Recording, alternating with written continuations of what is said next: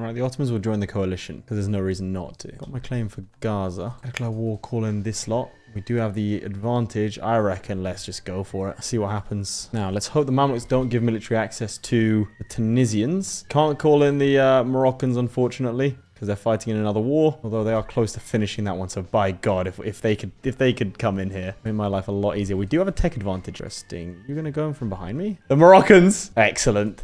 In come the Moroccans. All right, my only concern is the manpower situation. Let's see how well the Ottomans fight against the Polish-Lithuanians. They have absolutely... Lithuania, just get in! But, oh my god, lads. That's just, just you know, I feel like that was an unnecessary loss, and now Lithuania has just killed itself. You could have, you could have just not, you could have just won. You had, you just, you made the choice to lose. I've never seen someone so consciously do that. Oh, Crusade, excellent. Right, eight heavies. Damn, oh my, and they did in fact plow them through. Now, bear in mind that we cannot see the Ottomans up here. Unfortunate, but is a fact of life. Okay, if he's going to go down there, then we we are just going to send everything we can to go and fight him. To El Karak, and then you're going, who did you give military access to? Lithuania. Ladies and gentlemen, the Lithuanians.